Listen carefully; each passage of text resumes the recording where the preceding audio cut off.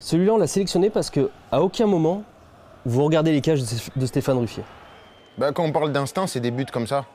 Hein, je sais déjà où je suis positionné sur le terrain, donc j'ai pas besoin de regarder le but. Et, et le ballon est fait de tel qu'il te laisse pas trop le temps de regarder, parce que c'est pas, il vient pas en cloche.